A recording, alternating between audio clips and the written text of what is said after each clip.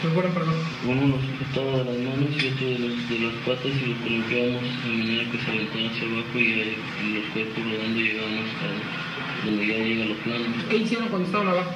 Comenzaron a poner piedras de manera que quedaba un círculo de pura piedra y era encima de la piedra se aventaba la llanta y arriba de la llanta se metía la leña y ya los cuerpos al principio lo hacían acomodando así la plancha y ya después así hasta que se acababan los cuerpos y ya de ¿Les rociaron algo?